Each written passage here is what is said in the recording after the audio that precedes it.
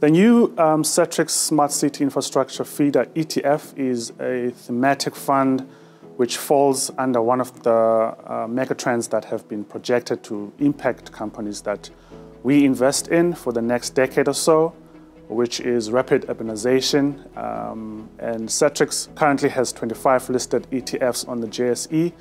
Um, this will be um, ETF number 26 and will list on the 26th of July.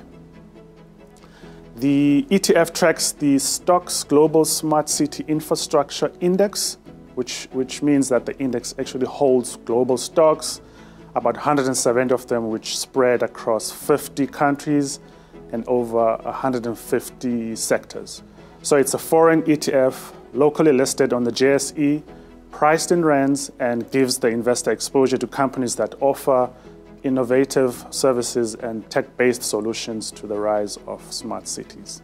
Smart cities um, use technology to enhance the quality of life of residents, from air quality to transportation to health and, and safety. So Satrix is, is offering investors access to this rapidly growing investment opportunity. Um, what really differentiates this ETF from the other ETFs um, is that it offers investors an opportunity to invest in, in a demanding and forever growing sector which falls under rapid urbanization. I mean, by 2050, um, almost two thirds of the population will be living in urban areas. The mega trend that speaks to this ETF is the rapid urbanization. As I mentioned, um, by 2050, there, there will be about two thirds um, of the population living in urban areas. So there is quite a lot of demand for space, clean water, um, affordable and clean energy.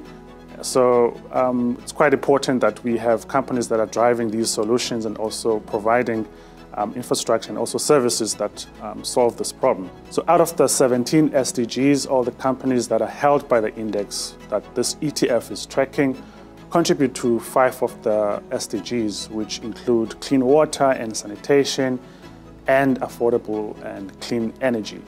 So the ETF appeals to investors who want to invest sustainably and make positive impact with their capital.